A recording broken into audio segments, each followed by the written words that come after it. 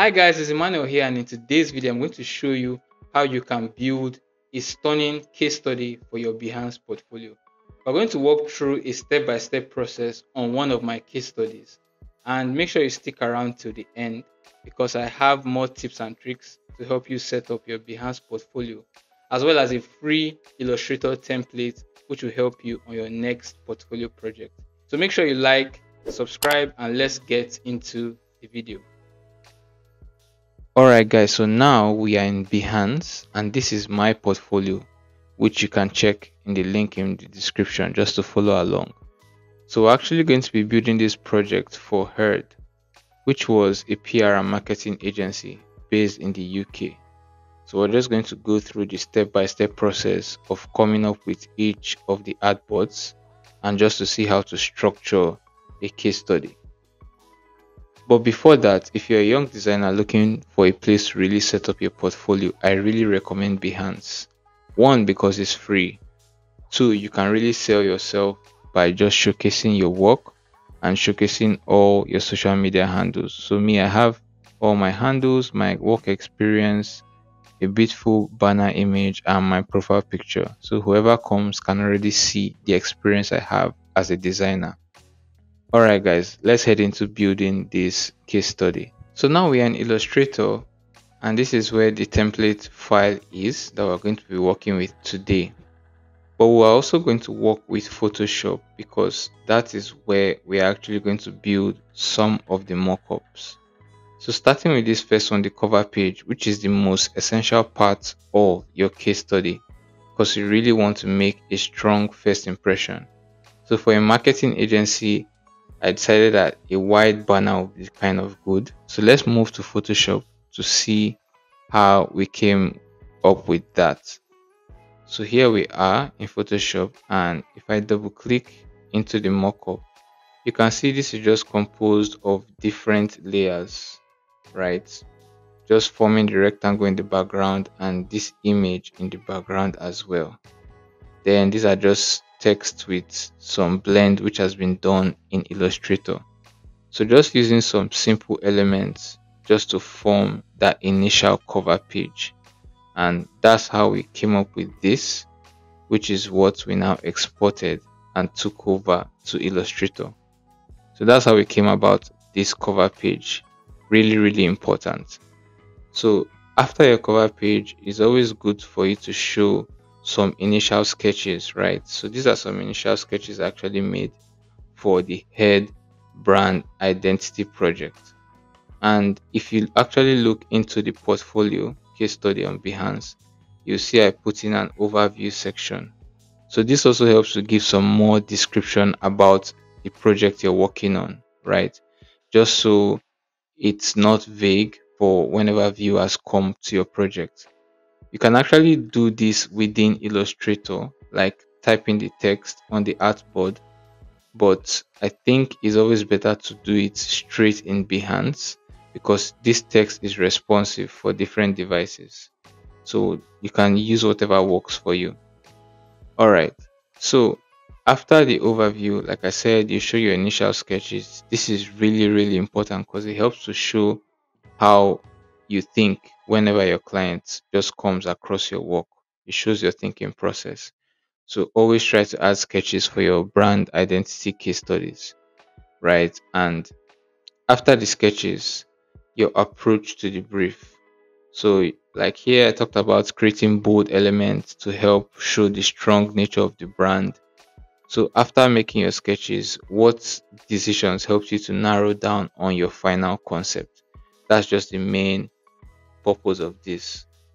Alright, so heading back to Illustrator, we are still on our artboards and remember that Behance wants you to make artboards with a maximum width of 1400 pixels and for height I recommend 800 pixels. Behance didn't actually specify. So right now we are on our next artboard in Illustrator and you can see just showcasing the main logo for the project which is Heard on a nice plain background. So that's just it. Um, you might notice that it's kind of animated here in the main project but this is kind of outside our scope for today's video because I actually use After Effects to work on this, right? But ideally, after showcasing your initial sketches, you just want to lay out the logo in a plain background, right? That suffices to introduce it to the audience. Next off, I like to show my logo in a grid format just to kind of show how I constructed it. I've taken some time to draw out some lines just to show how the logo was built, all the corners, the edges, the angles that were put into consideration.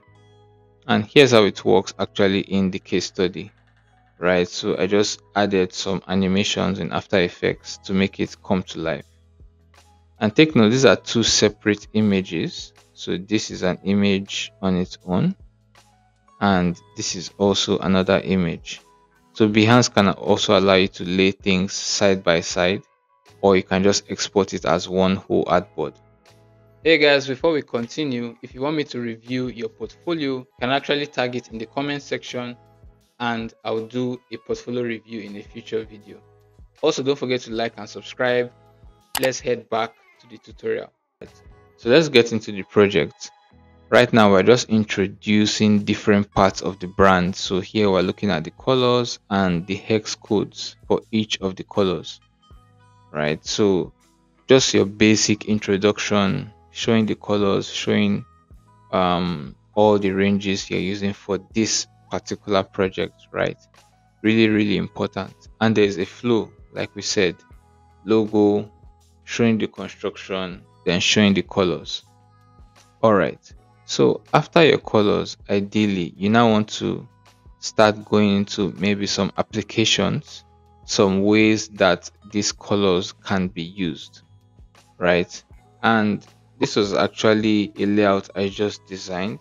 If you see the outline, so it kind of took a while to design this, right? Because again, it's a marketing agency, so just trying to showcase how everything can look loud and bold so the choice of taglines was very intentional. Never not talking loud, loud mouths we make sure you get heard.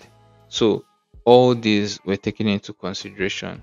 So each of these are just elements that have been neatly designed, right? And again, you can now see I eventually took it to After Effects just to add some small animation. So if you actually have animation skills, it can really help in your brand presentations. But if you don't, then it's fine. Your presentations can still work very well as images. So moving on, still on the applications, looking at social media templates. So let's head over to Illustrator to see how we built this, which is actually on this artboard. So this is actually a mock-up. All this will actually be provided in the template. Um, so you can see we can over actually come here to edit this. And these are just some sample social media templates which could work for the brand. Tips for your PR specialists um, three things you can do to boost engagement. Just basic um, marketing lingo. And again it's very important for the project you're working on you always want to contextualize how it's going to be used, right? So for a marketing agency, can we see some marketing materials, right? So back to the case study on Behance, and after the social media templates, we had a couple of websites um, headers which we could sample.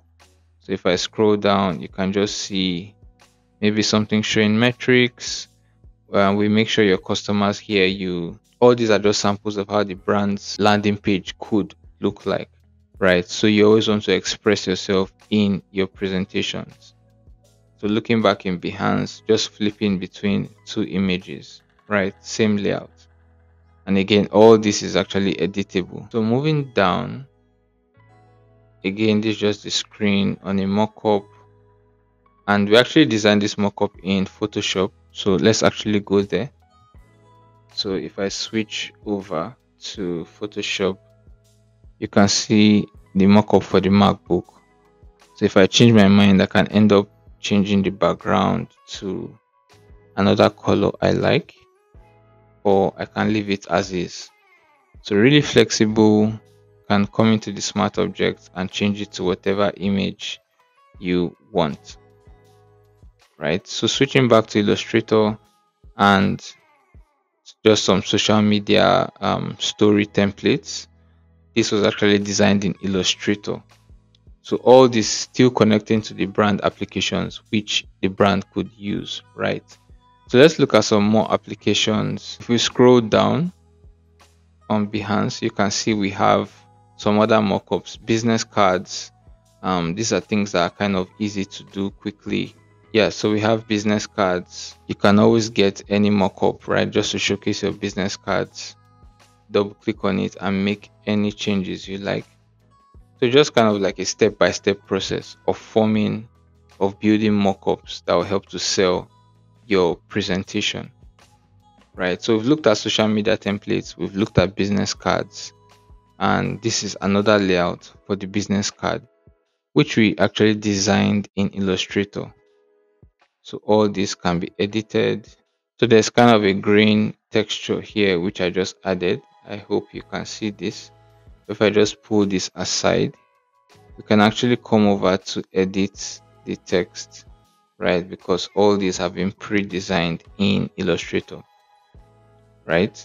So let's move on from the business cards and see what else we have so this is another common thing you see in a lot of brand presentations because of how digital the world is now. Most brands have apps. We actually built this in Photoshop. So you can see the mockup for the phone. You can zoom in here and which is the image which is here as well. This is actually a vector, right? And you can easily draw this using your rectangle tool and just round out the shapes to just draw that. So after looking at the app icon the brand we also worked on some stickers. So all these stickers we actually designed them in illustrator which we can see here. So just some fun ways to express some stickers for the brand. So again when you're working in your brand presentations feel free to be expressive feel free to bring in some creative things that can help to sell the brand more. So this could be like stickers on a bag or on a t-shirt or on a tote bag, which we'll see later in the presentation. So moving on, um, oh, we can already see a tote bag being used here and some stickers on a laptop. And those were actually worked on in Photoshop. So you can see a tote bag it's just um, your standard mockup which you can always click into and go ahead and make updates.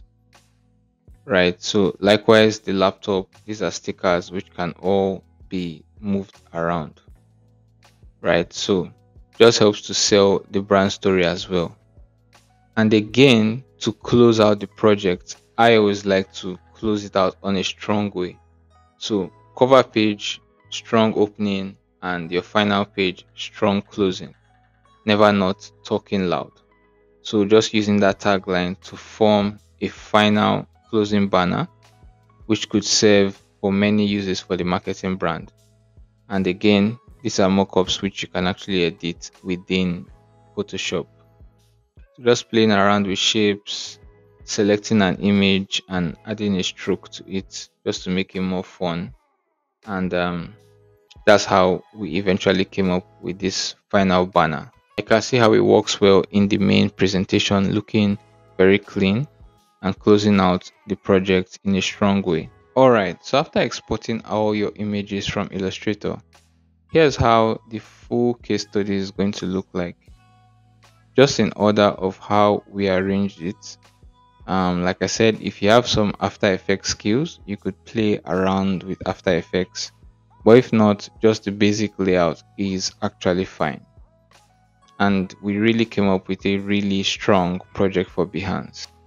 Alright guys so those are some tips tricks and techniques to help you set up your behance portfolio and build amazing case studies. Don't forget to download the free illustrator template in the description. And if you want me to review your portfolio make sure you put it in the comments and i'll do a portfolio review in a future video Thank you guys so much for watching. Don't forget to like and subscribe. And if you want to learn more about design, about building your portfolio, or becoming a brand designer, just click the video on screen. Bye bye.